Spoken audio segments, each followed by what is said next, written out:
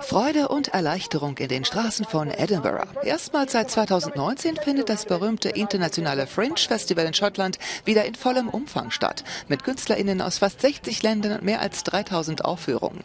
Allerdings ist die Teilnahme auch mit hohen Kosten verbunden, unter anderem wegen der teuren Unterkünfte.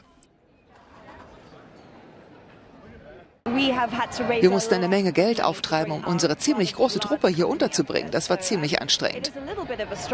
Ich denke, dass sich die Stadt schon ein bisschen mehr engagieren und den Künstlern unter die Arme greifen könnte. Das wäre sehr schön. Die Unterkünfte sind unglaublich teuer. Dafür muss man schon ziemlich viel Publikum zusammentrommeln. Wenn nicht, wird die Inszenierung zum Verlustgeschäft.